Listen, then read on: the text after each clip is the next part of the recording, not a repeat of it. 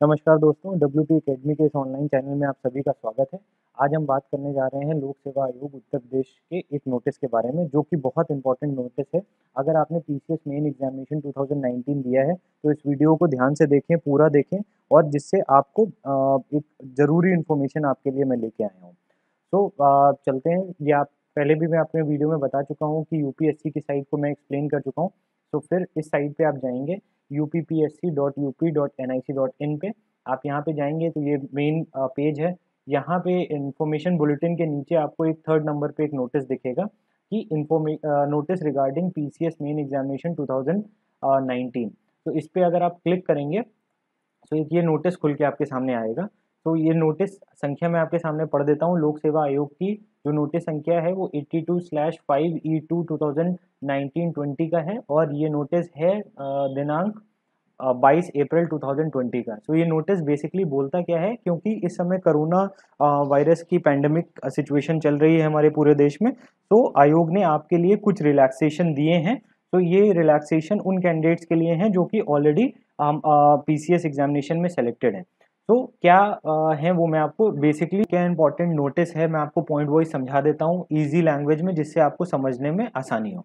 तो ये नोटिस जो है वो basically P C S examination main examination 2019 के बारे में है। तो ये नो ये नोटिस मुख्यतः उन कैंडिडेट्स के लिए है जो कि मुख्य परीक्षा 2019 में सफल घोषित हुए थे। और जिन्होंने परीक्षा शुल्क जमा कर दिया है या परीक्षा शुल्क जमा करने हेतु तो अतिरिक्त मुक्त परीक्षा आवेदन हेतु संबंधित कोई भी कार्य शेष रह गया है। मतलब जो कोई एप्लीकेशन आपका रह गया है, कोई डॉक्यूमेंट आपको जमा करवाने के लिए रह गया है तो उन कैंडिडेट्स के लिए। तो वो सभी कैंडिडेट्स वीडियो ध्यान से देखें, अंत तक देखें, जिससे आपको पूरी इन्फॉर्मेशन आप इस चीज़ को समझ सकें।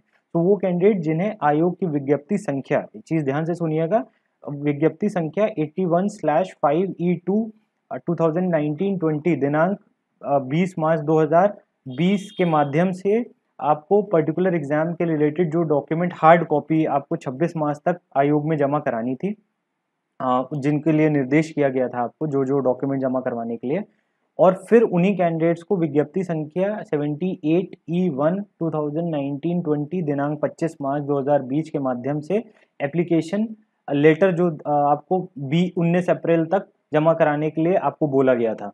तो अब उनके लिए वो डेट फिर से रिवाइज कर दी गई है और वो डेट्स हैं जो सारे कैंडिडेट्स हैं वो अपनी जो डॉक्यूमेंट्स हैं या एप्लीकेशन हैं वो 15 मई 2020 तक कार्यालय में भेज सकते हैं आयोग के कार्यालय में भेज सकते हैं। ये डेट रिवाइज कर दी गई है। ये एक बड़ा आ, फैसला है आयोग द्वारा क्योंकि आप अपने क्योंकि कोरोना वायरस या कोविड 19 के जो समय पैंडमिक चल रही है तो इस समय ये सारी रिलैक्सेशन आपको दी गई है। तो अगर आपने डॉक्यूमेंट नहीं भेजा है तो आप 15 मई 2020 तक ये डॉक्यूमेंट भेजने की कोशिश करिए कि आपकी डॉक्यूमेंट्स प्रॉपर पहुँच जाएँ और आपका आ, एक रजिस्ट्रेशन हो सके और आप अपना प्रोसेस को आगे बढ़ा सकें। तो मेरी तरफ़ से सबको कॉन्ग्रेचुलेशन और ऑल द बेस्ट अगर कोई भी आपको और इन्फॉर्मेशन चाहिए यूपीएससी आयोग के रिलेटेड तो आप प्लीज़ कमेंट सेक्शन में कमेंट करिए और हम कोशिश करेंगे कि आपके लिए कुछ अच्छी वीडियोज़ ला सकें। Thank you